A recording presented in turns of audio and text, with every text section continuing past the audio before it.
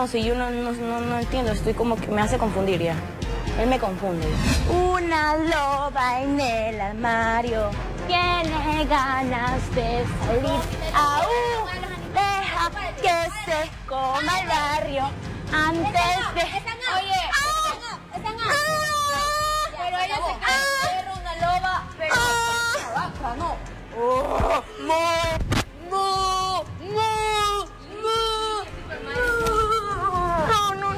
sabía.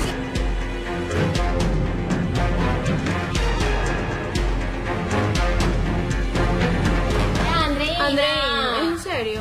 Andreina. Andreina, ¿es en serio? Porque si tú me dices que no te molesta, yo no te. No me gusta que me digan que estoy gorda ya. Pero no estás gorda. Me la están mandando un ratito, ya, pero si estuvieras muy gordo no te lo dije. O sea, John Alex te dice gordo y, y tú te ríes. Solo te estabas molestando. Pero es que no me gusta que me... Es que para, estar- cuando estoy en el equipo F tomaba muchos suplementos para poder ganar fuerza y me, y me hice más puca. Y no me gusta obesas. Tú no eres una obesa, no estás gorda. Estás tuquita. Y tú puedes bajar de peso si tú quieres, te lo propones.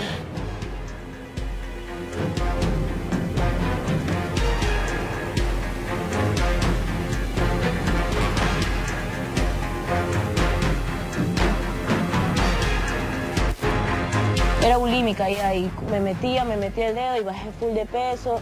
Y yo siempre decía, ay, ahorita sí me van a querer los chicos y ahí estuve mi novio. Y cuando estuve con él, él también me decía que estaba gorda porque no estaba tan flaca, entonces de ahí bajé de peso y entré a combate. Y ahí otra vez volví a engordarme, entonces ya pues no quiero. A los niños no les gustan las gordas. Y debe de ser, y también no me gusta sentirme así, yo quiero sentirme bien y ahorita no me siento bien conmigo. No, juro que no estoy molestando a Andreina de mala manera o por querer hacerle sentir Es mal. verdad, no. no. Pero la estaba molestando porque estábamos haciendo una broma y ella estaba en el piso, pero jamás me voy a poner a ofender a una persona, sabiendo que hay mucha gente que lucha por bajar de peso, hay mucha gente que son obesas y día a día ellos luchan por querer tener el cuerpo que tanto desean, no por verse físicamente bien, sino por sentirse ellos bien.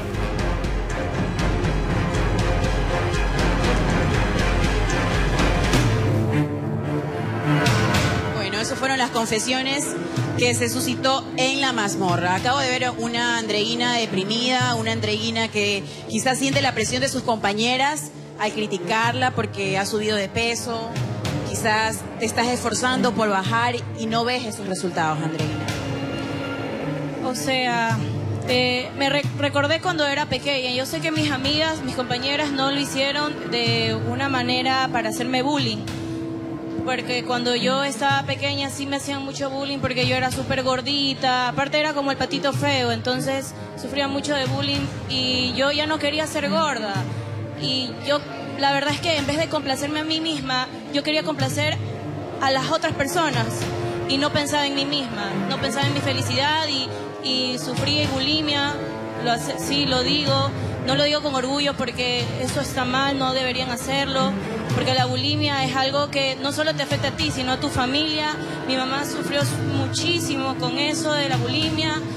eh, entonces no, no, no lo recomiendo, tú tienes que aceptarte a ti misma siendo gordo, flaquito, alto, pequeño, como eres, tienes que ser tú misma. Y no, no, no complacer a otras personas para, para, para sentirte bien o para ser aceptada, tú tienes que aceptarte a ti misma y cuando tú te aceptas a ti misma vas a ser feliz. Y la verdad es que cuando pasó eso me sentí mal porque ya había pasado por todo lo que pasó eh, en, en el transcurso de- del programa. Eh, también a veces ah, tengo compañeros que dicen que, que, aunque no saben lo que hacen sentir, me dicen que digo ignorantadas o cosas así, o que soy mongola. Esas cosas sí me afectan porque tú tienes que aceptarte a ti misma y no tienes que hacerla sentir mal a otra persona para, no sé, ganar una pelea o algo así. Entonces, ¿Ves que tus amigos, tus compañeros están siendo injustos contigo?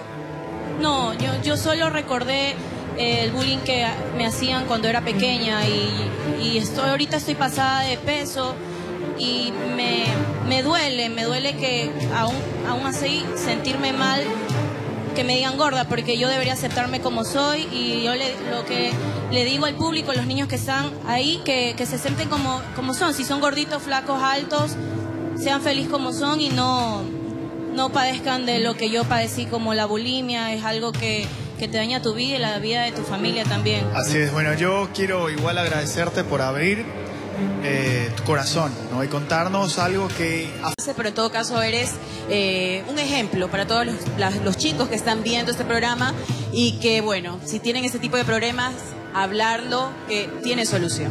Bueno, En todo caso, señor, la voz, que vamos ¿qué a vamos a jugar ahora?